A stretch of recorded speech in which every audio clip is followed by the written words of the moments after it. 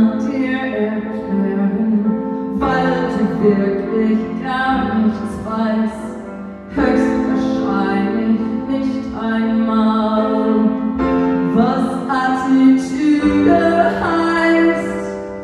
Deine Lüge.